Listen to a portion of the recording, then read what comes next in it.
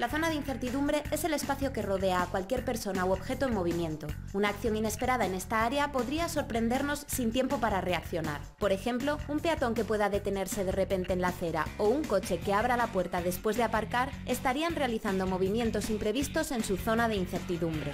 En el caso de la seguridad vial, tenerlo en cuenta es esencial para prever las acciones de nuestros compañeros de vía y poder evitar accidentes. Las dimensiones de esta área varían dependiendo del objeto y su velocidad. Un camión tendrá una zona de incertidumbre más amplia que una bicicleta. Igualmente, una velocidad alta hará que la zona susceptible de verse afectada por un movimiento imprevisto sea mayor.